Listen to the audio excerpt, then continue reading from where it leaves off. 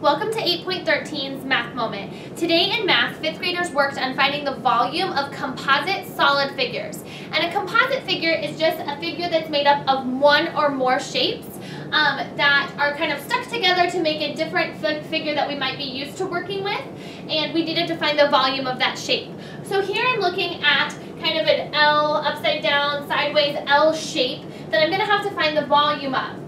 Now, the nice thing is I've got lots of different numbers that I already know, and so I just have to break this shape into two shapes, maybe three shapes, to help myself figure it out and then put them all together. Because it's not going to, I'm not going to be able to use a formula to find the volume of all of this as one piece. I'm going to have to break it apart and then put them together. So I'm going to go ahead and draw a line.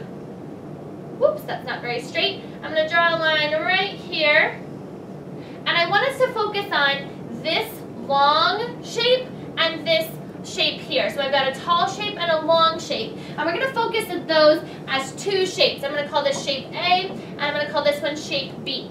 And I'm going to focus just on one at a time to figure out the volume before putting them together.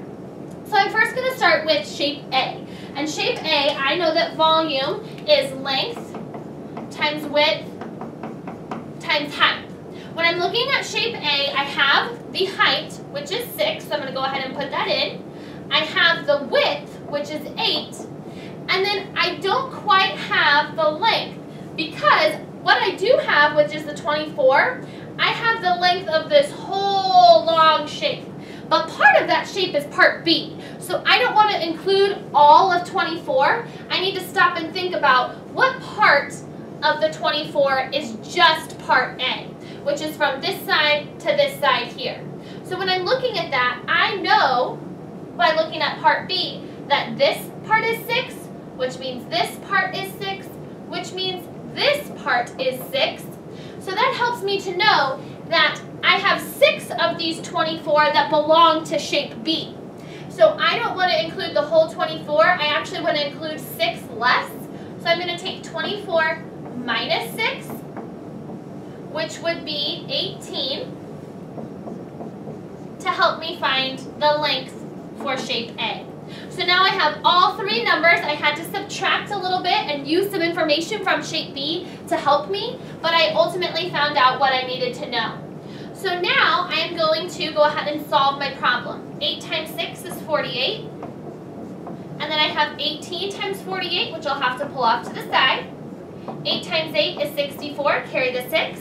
8 times 4 is 32, plus 6 is 38. Add my 0, I'm done with the 6. 1 times 8 is 8, 1 times 4 is 4. And then I'm able just to add and carry, like I normally would, to find out that the volume of shape A is 864 centimeters cubed. Now, I'm not done with the problem. I've done a lot of work, but I'm not quite finished because now I need to find the volume for shape B. I know that volume is length times width times height. And then I need to look at shape B and decide what do I already know, what do I already have.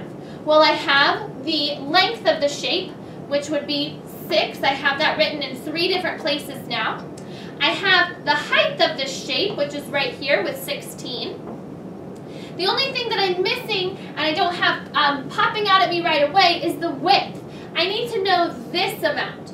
So when I'm looking at other parts of this shape that would be equivalent, I see that th these two lines would match, which means that also this line would match, which matches with this one here, the width of shape A, which was 8. So again, I used parts of the other shape to help me figure out the dimensions for shape B. 6 times 8 is 48, and now I need to take 48 times 16. 6 times 8 is 48 again. 6 times 4 is 24, plus 4 is 28. I'm done with my 6, so I get rid of the 4 and add a 0. 1 times 8 is 8. 1 times 4 is 4. And then I can go ahead and add, just like I normally would, to get the final answer of 768 centimeters cubed for shape B. Now, I'm still not done because I need to figure out the whole shape of the composite, or excuse me, the whole volume of the entire composite shape. So in order to do that, I need to add together 864 and 768 to find my total volume. 8 plus 7 is 15, plus 1 is 16, and then I get a final volume of shape A and B, so this whole composite shape of 1,632 centimeters cubed. So a good strategy for your student is to have them work on two separate pieces of paper for the two separate shapes to write the volume inside the shape that they're working on to help them know, okay, I'm done with shape A, let's move on to shape B, and then put them together at the end. So again, encouraging that organization of work is going to help them when they're working with composite figures. If you have any questions about this lesson, make sure to see your math teacher.